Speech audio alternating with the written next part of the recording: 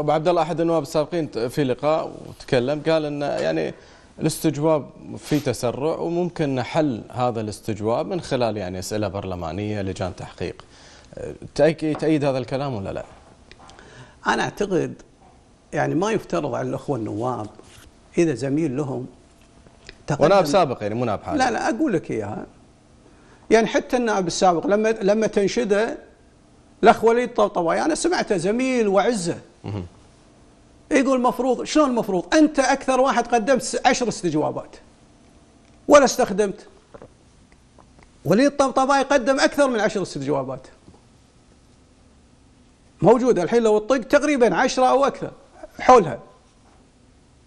ما شفنا يوم من الأيام إنك سويت الأمر هذا. على طول وكان له تصريح. ترى دير بالك ترى بخمس دقائق أطلع تسوي لك استجواب هو كان يقول كذي.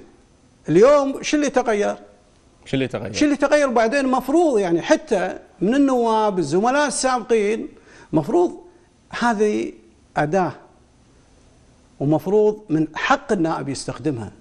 أنا أروح أنتقده مقابل أن واحد دق علي تكفى فلان صرح. أو ترى تصريحك ممكن يأثر أو يوازن. لا ما توازن.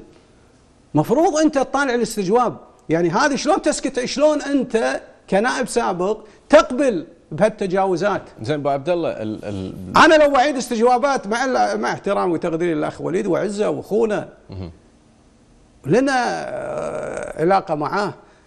يعني أنت لو تبي ترجع لاستجواباته اتحدى إذا مثل هذا الاستجواب إدانة إحالة للنيابة وكذا. أتحداه.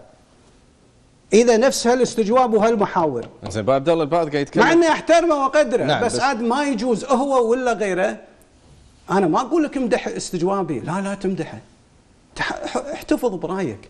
بس واضح إنه في ايعاز إنه يا فلان. يعني تم لي عازله ممكن. أنا أقول لك وليد ولا غيره. أنا ما أبي أدخل مع وليد وزميل وله معزة وتقدير.